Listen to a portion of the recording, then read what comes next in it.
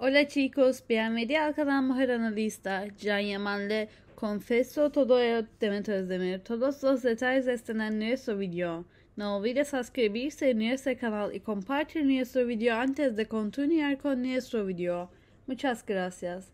La exitosa actriz Yaman se confesó al hacer unas declaraciones que sus fans esperaban con ansias desde hace mucho tiempo.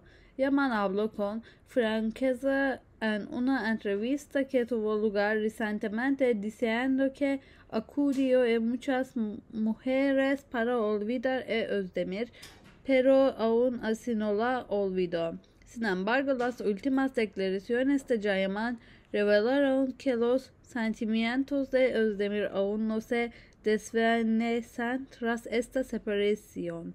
La actriz dijo para olvidar a Demet conocí a diferentes personas de muchas conversaciones. Sin embargo, no pude cambiar mis sentimientos. Todavía pienso en ella y ella la guarda en algún lugar de mi corazón.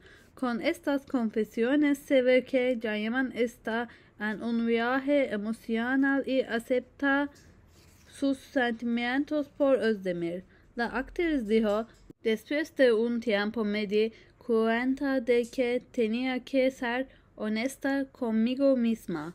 En lugar de negar mis sentimientos por Demet, elegí aceptarlo. Fue difícil para mí, pero ahora es el momento de hacerlo. Por otro lado, en cuestión de curiosidad, ¿cómo reaccionará Demet Özdemir ante estas confesiones? Se sabe que Özdemir no se pronunció sobre las declaraciones posteriores al contraste y guarda silencio sobre un tema emotivo. Aquí llegamos al final de nuestro video. Si te gusta nuestro video, no olvides suscribirte al canal y compartir el video. Adiós.